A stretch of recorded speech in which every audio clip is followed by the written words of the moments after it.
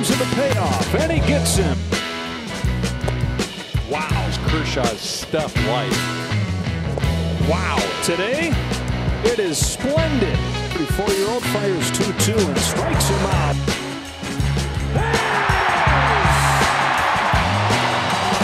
2,697.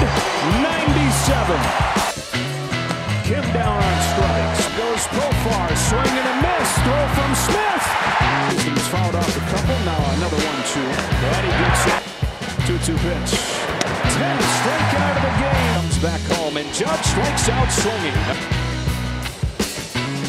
Canha down on strikes. The Mets against his slider today, Omar, are 0 for 7 with four strikeouts. Got a chase.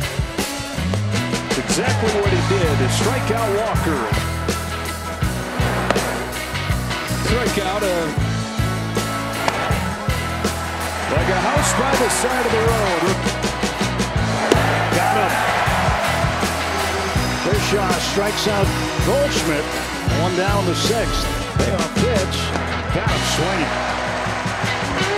That's next level. Next up, Kershaw takes the lead all time in postseason strikeouts over Verlander, number 209.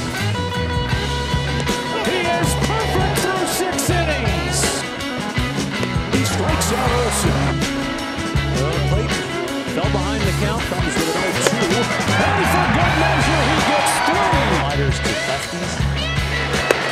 Over there again. And then paints a fastball to the outside corner. Shakes a couple times, has one that he likes and deals to get Contreras. One, two to a him. One, two pitch from Kershaw. Nimmo swings and misses. Fastball gets him looking. Wow, ties him up. Strike three. So Kershaw strikes out three. Kershaw trying to finish off this inning with limited damage. A 3-2 to Drury. Called strike three. 2-2. Curve gets him swinging. 2-2.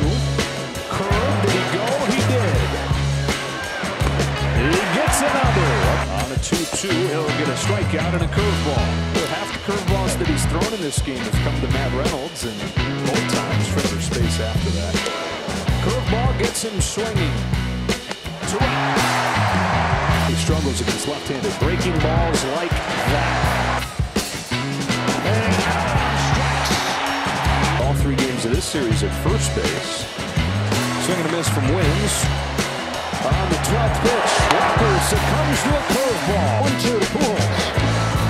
Did he go? Yes, he did. Says it's credit for only one strikeout, Clayton Kershaw does, but he probably got him twice.